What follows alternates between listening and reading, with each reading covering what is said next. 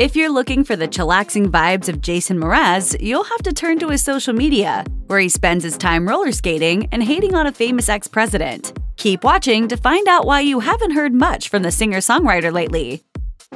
After an impressive run of five consecutive top 10 albums, Jason Mraz's seventh studio effort, 2020's Look for the Good, failed to crack the Billboard 200. So why did so many fans suddenly seem to jump ship en masse? A new musical direction may have been the root cause. Mraz's sound has always flirted with reggae, though at the lighter, watered-down end of the spectrum. However, in 2020, he decided to show that his love of the genre extended beyond Bob Marley's greatest hits. So to help pull off the record, he recruited dancehall star Sister Carol and producer Michael Goldwasser, who's known for his work with roots reggae legends Toots and the Maytals and Steel Pulse. Not everyone was on board with this vision though. Album of the Year calculated Look for the Good's critic score as 60 out of 100, while its user score was a rather weak 44. Users described the album as painfully uninteresting and the lyrics as awfully cheesy. Nevertheless, Mraz still seems determined to continue in this direction, as he told the San Diego Union Tribune that he plans to convert much of his back catalog, quote, through the new reggae machine and record a second album steeped in the Jamaican sound.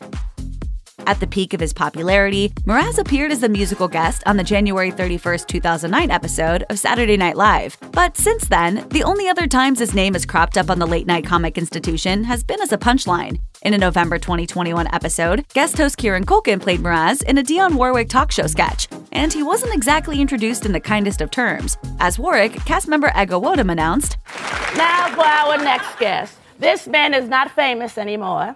He does not have any songs out. Please welcome Jason Mraz. Culkin as Mraz at least acknowledged that this was a rather harsh way of being welcomed onto the stage, but things didn't get much better, as Nwodim's Warwick immediately steered the topic of conversation to bigger names like Kanye West and Rihanna. I'm sorry, can you ask me questions about me? And back in a 2013 SNL episode, Mraz was impersonated by Joseph Gordon-Levitt for a sketch called The Mellow Show, which also took aim at fellow laid-back troubadours like Jack Johnson and Dave Matthews.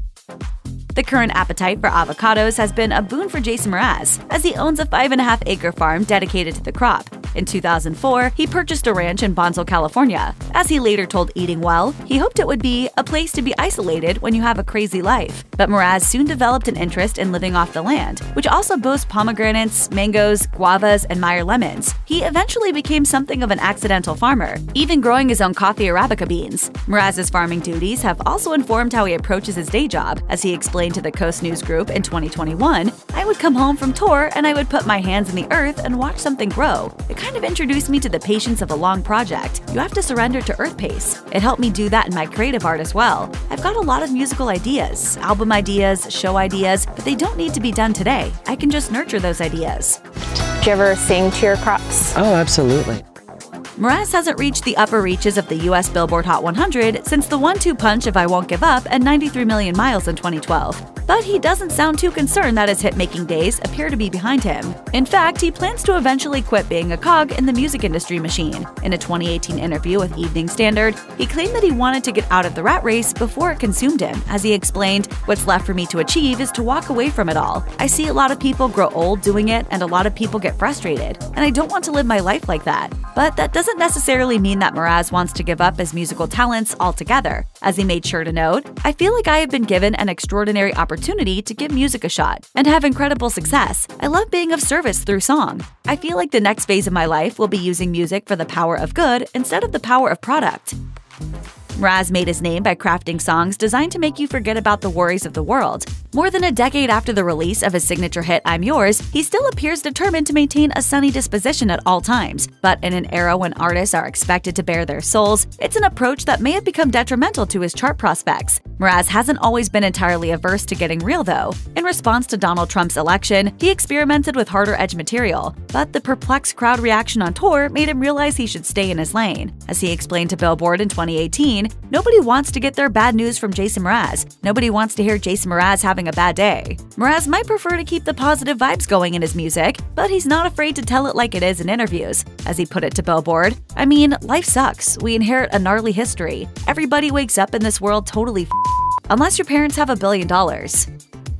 In 2018, Mraz courted a little bit of controversy during an interview with Billboard about the poem he wrote in which he revealed his bisexuality. The blowback wasn't anything to do with his orientation, but rather with his unfortunate choice of words. He revealed that his wife Christina had given him a nickname after discovering that his position on the Kinsey scale, a tool for measuring sexual orientation, often fluctuated. As he explained, she calls it two spirit, which is what the Native Americans call someone who can love both man and woman. I really like that. But many readers were quick to point out that this particular term should only apply to Indigenous North American and First Nations people. Native Peoples magazine editor Tate Walker, for one, tweeted, Non natives who try to co opt Two Spirit as some trendy term their wives just picked out of the air are perpetuating settler violence tribal people, especially Indigenous queers and trans folks, have endured and survived for centuries. Mraz eventually expressed remorse as he tweeted in response I apologize for misunderstanding and misusing the term Two Spirit. Thank you for the correction.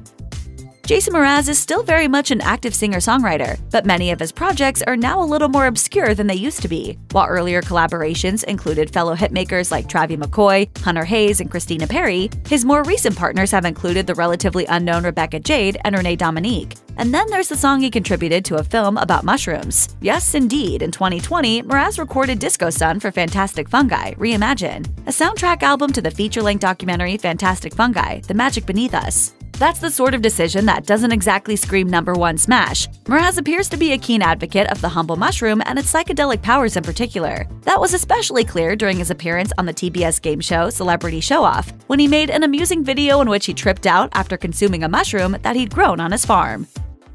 You might not be seeing Jason Mraz that much on traditional media lately, but you may well have stumbled across him on the social media phenomenon that is TikTok. While he was unable to hit the road during the COVID pandemic, he spent a significant amount of 2020 performing his songs from the comfort of his own bedroom. As he explained to People magazine, I like to go on at midnight and do an hour set on TikTok, just as a way to practice and engage with fans and be weird. And it's fun, but the reality is that it's me alone in my room, which is also sad. Mraz has racked up an impressive number of followers on the app, over 600,000 as of December December 2021. And TikTok's not the only youth oriented pursuit this 40 something developed an interest in during his enforced break from touring, as he's also gotten into roller skating. As he told People, I just started skating in my driveway, skating down at the beach, just anywhere where there weren't too many people. And it put a different energy in my body, which was very similar to live performance. Chances are you have actually heard Mraz's famously optimistic music in the recent past, even if it's not a song he's released within the last decade. He hasn't had a major hit since 2012, but it's the one from four years earlier that's still racking up all the streams. 2008's I'm Yours is part of an exclusive club of 2000s hits that have surpassed the 1 billion play mark on Spotify, and Mraz was pretty stoked when he pulled off the feat. He took to Facebook to show off the plaque he received for the milestone, telling his followers, Unboxing 1 billion Spotify streams. Thank you for listening to my jams. Incredibly, I'm Yours has since gone on to add another 200 million plus plays to its tally. In stark contrast, the most played track from his 2020 album, Look for the Good, hasn't come anywhere close to the number of plays of his signature tune, and the majority of that album's songs haven't yet even reached the 1 million mark.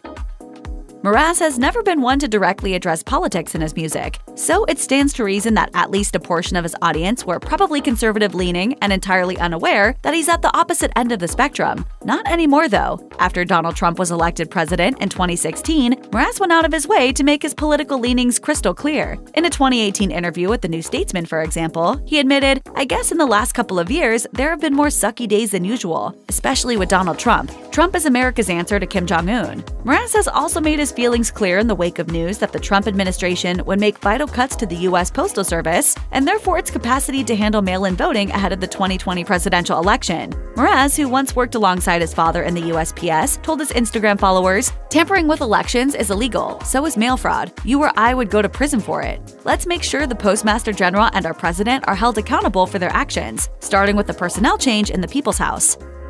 Mraz may no longer be the ubiquitous hitmaker he once was, but he's still determined to inspire a new generation to take his place. So in 2021, he teamed up with interactive music service Yousician to help launch a new tutorial project called Spotlight. The initiative allows artists to help budding musicians learn the tricks of the trade by revealing secrets about their songwriting and studio and stage experiences and offering personalized lessons relating to their biggest hits. Mraz explained to Music Week what inspired him to add teaching to his list of talents as he revealed, I've partnered with Yousician because I I hope that anyone at any age feels that now is the right time to learn. Yousician makes it so easy to learn and play. It's like having a friend to personally guide you on your musical journey.